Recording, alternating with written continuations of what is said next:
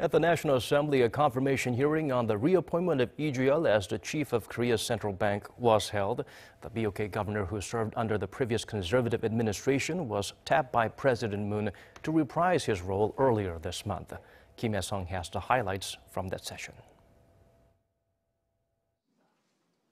Parliament held a confirmation hearing on Wednesday for the reappointment of Bank of Korea Governor Lee Ju-yeol.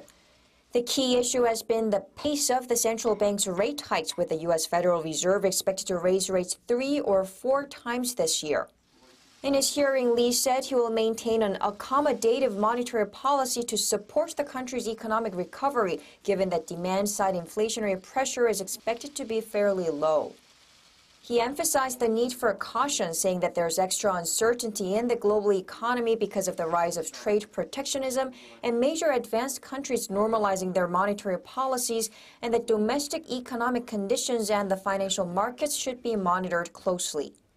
In his first term, which started four years ago, Lee lowered the benchmark rate five times to a record low of one and a quarter percent and then raised it to one and a half percent last November. He has since signaled that any further rate hikes will be gradual in view of the subdued inflationary pressures.